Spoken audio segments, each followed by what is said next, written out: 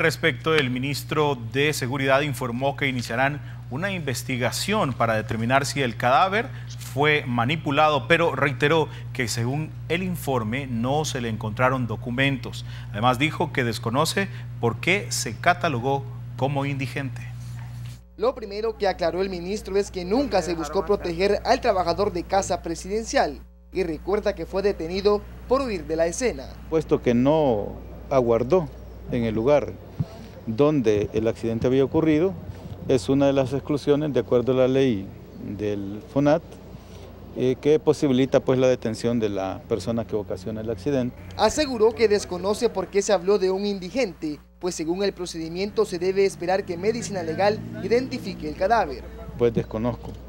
Eh, nuestra responsabilidad era auxiliar a la, a la víctima, lamentablemente al momento que llegaron las unidades policiales ya había fallecido y pues se hizo la inspección ocular que corresponde. Y dijo que es posible que una tercera persona manipulara el cuerpo, por lo que iniciarán una investigación. Es posible que el cadáver haya sido manipulado por una tercera persona antes que llegaran las autoridades, eso suele ocurrir. Reiteró que la policía actuó con profesionalidad y siguiendo todos los procesos correspondientes. Para Teleprensa Canal 33, Jorge Trillo.